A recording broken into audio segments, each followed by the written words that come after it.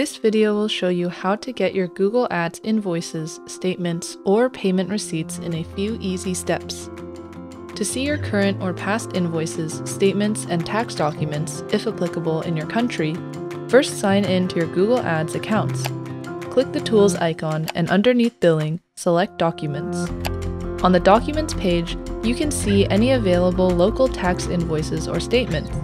For advertisers using manual or automatic payments, this is how you will see the Documents page.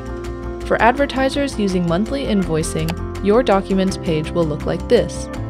For instructions on how to find your monthly invoice, you can move ahead to the chapter for monthly invoicing. To download one of your documents, check the box next to the document and then click Download Selected. If you're on monthly invoicing and would like to find an invoice in your account, sign in to the Paying Manager's account or any manager above that in the hierarchy. From the top navigation, click the account selector and click the account you'd like to view. Click the Tools icon and underneath Billing, select Documents. Locate the invoice you'd like to view in the Document Number column. Select the invoices you'd like to download, and in the upper right, click Download Selected.